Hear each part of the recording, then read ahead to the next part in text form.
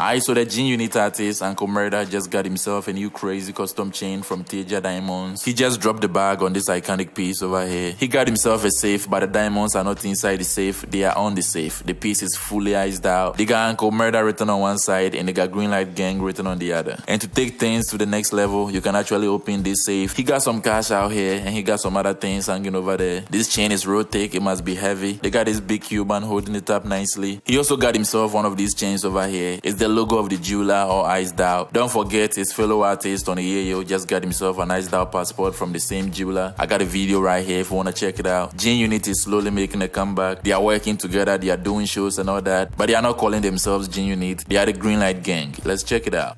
And it open up. You see that? Mm. Station houses. Got the murder chain in there, got the money in there, got the guns in there. You know the vibes. We're gonna put some more stuff in the safe too. No, we Green doing light gang. Whoa! unit.